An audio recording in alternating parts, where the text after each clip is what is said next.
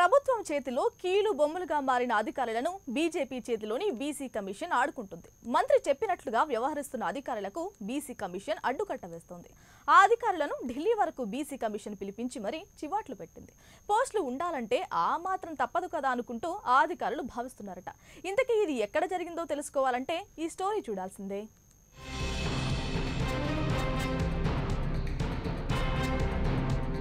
ఖమ్మం జిల్లాలో అధికారులు వర్సెస్ జాతీయ బీసీ కమిషన్గా మారిపోయింది.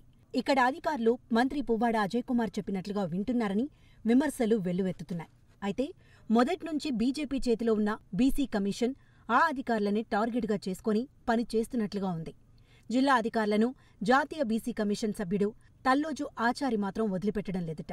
కొద్ది రోజుల క్రితం అధికారులను ఢిల్లీకి బీసీ కమిషన్ ముందుకు పిలిపించిన తల్లోజు ఆచారి ఇప్పుడు ఏకంగా బీసీ కమిషన్ వైస్ ప్రెసిడెంట్ని ఖమ్మంకు రప్పించారు. ఖమ్మం జిల్లాలో అభివృద్ధి పనుల పేరిట దశాబ్దాలుగా ఉంటున్న వారి ఇళ్ళను తొలగిస్తున్నారు. గోళ్ళపాడు ఛానల్ అభివృద్ధి పేరిట ఆ కాలువ చుట్టూ ఉన్న ఇళ్ళను తొలగించారు.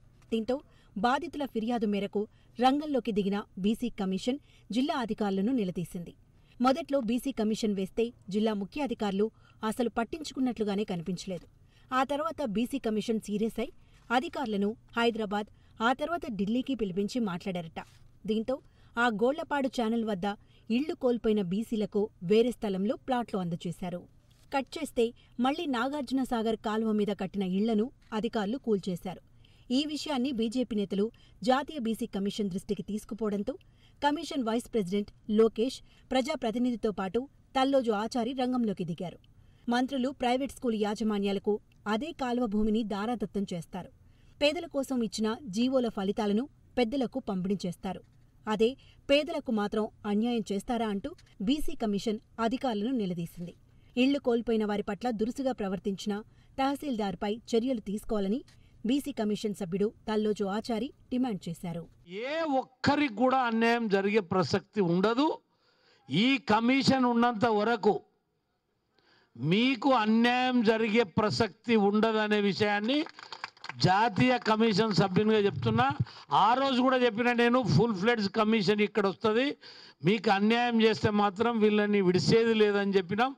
ఇవాళ మన లోకేష్ కుమార్ ప్రజాపతి వైస్ చైర్మన్ గారు ఇక్కడ వచ్చిండ్రు.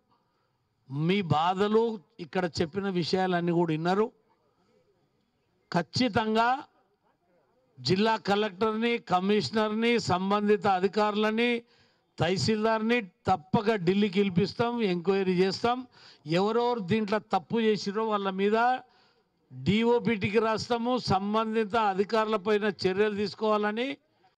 ఎక్కడెక్కడ వాళ్ళకు అధికారాలు ఉన్నాయో వాళ్ళపైన చర్యలు తీసుకోవాలో ఖచ్చితంగా రాష్ట్రపతి గారికి కూడా వీళ్ళ మీద ఫిర్యాదు చేయబడుతుంది.